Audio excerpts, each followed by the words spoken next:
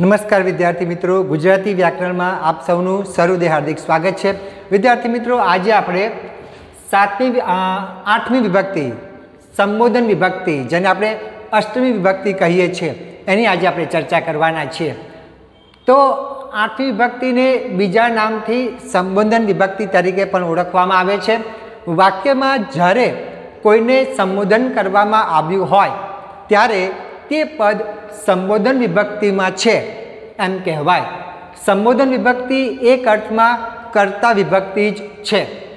સંબોધન વિભક્તિનું પદ વાક્યથી સ્વતંત્ર હોય છે, તેથી તેને અલ્પ વિરામ કે ઉદ્ગાર ચિહ્નથી અલગ દર્શાવવામાં આવે છે. વિદ્યાર્થી મિત્રો, ખાસ યાદ રાખજો, સંબોધન વિભક્તિનું પદ એ અલગ દર્શાવવામાં આવે છે. કેવી રીતે? તો ઉદ્ગાર ચિહ્ન મૂકીને કાં તો અલ્પ વિરામ મૂકીને, બરાબર? એટલે ક્યારેક તમે એને કરતા અર્થે પણ ન માની લો, બરાબર ને? એટલા માટે ખાસ કહું છું કે સંબોધન વિભક્તિનું પદ વાક્યમાંથી સ્વતંત્ર હોય છે અને તેને અલ્પ વિરામ કે ઉદ્ગાર ચિહ્નથી અલગ દર્શાવવામાં આવે છે, બરાબર? તમે ભૂલથી કરતા વિભક્તિમાં ન લેતા, બરાબર ને? આઠમી વિભક્તિ જે છે એ સંબોધન વિભક્તિ છે અને એ પદ અલગ દર્શાવવા માટે અલ્પ વિરામ અથવા તો ઉદ્ગાર ચિહ્નનો ઉપયોગ થાય છે. સંબોધનવાચક શબ્દો અથવા તો સીધું નામ પણ આ વિભક્તિમાં પ્રયોજાય છે. તમે જુઓ, આ દ્રષ્ટાંત તમને ખ્યાલ આવશે. હે ઈશ્વર, આ શું થવા બેઠું છે? તો આમાં, હે ઈશ્વર, તમને દ્રષ્ટિએ કરતા લાગે, હા? પણ ના, અહીંયા જુઓ, મેં અલ્પવિરામ મૂક્યું છે.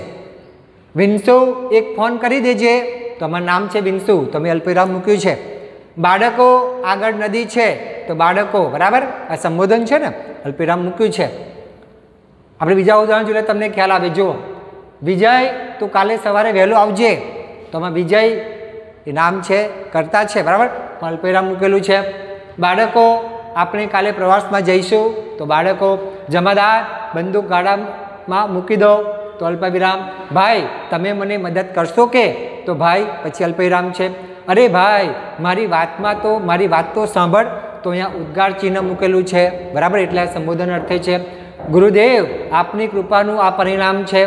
તો આમાં ગુરુદેવ, બરાબર? ઉદ્ગાર ચિહ્ન મૂકેલું છે. હે ઈશ્વર, આ શું થવા બેઠું છે? તો અહીંયા અલ્પવિરામ મૂકેલું છે. અસત્યો માહેથી પ્રભુ પરમ સત્યે તું લઈ જા.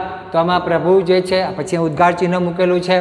પૂજ્ય પિતાજી સવિને નમસ્કાર. તો આમાં પૂજ્ય પિતાજી પછી અલ્પવિરામ મૂકેલું છે. બહેન, મારે તમારી ક્ષમા માગવાની છે.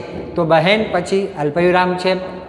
ઓ માં, હવે તો નથી રહેવાતું તો ઓ માં, પછી ઉદ્ગાર ચિહ્ન છે. બાળકો, આગળ નદી છે, તો અલ્પવિરામ.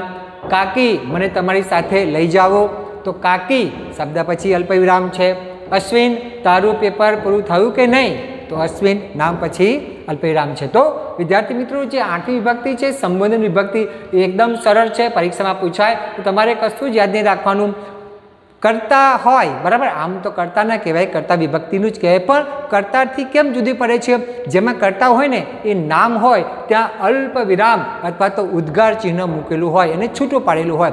એટલે તમારે સમજી લેવાનું કે આ સંબોધન વિભક્તિ છે. તો વિદ્યાર્થી મિત્રો, મારો વીડિયો પૂરો કરતા પહેલાં આપણે ખાસ જણાવી દઉં કે જો તમે મારી યુટ્યુબ ચેનલ પર નવા આવ્યા હો તો મારી યુટ્યુબ ચેનલમાં આપણે ધોરણ એકથી બાર ગુજરાતી વિષયને લગતા અભ્યાસ, સ્વાધ્યાય, વ્યાકરણ ગદ્યાર્થ ગ્રહણ પદ્યાર્થ ગ્રહણ અર્થ વિસ્તાર, સંક્ષેપીકરણ, અહેવાલ લેખન, વાદાત્મક ગદ્ય, ભાવાત્મક ગદ્ય, પત્ર લેખન, વાર્તા લેખન, કહેવત પછી વાર્તાઓ, એટલે કહેવત પરથી જુદી જુદી કહેવતો હોય એ કહેવત કઈ વાર્તાને આધારે પડેલી છે એવી કહેવત કથાઓ પણ મારી આ ચેનલમાં મૂકેલી છે. સાથે સાથે સમાનાર્થી શબ્દો, રૂઢિપ્રયોગો, શબ્દ સમૂહ માટે એક શબ્દ આપો.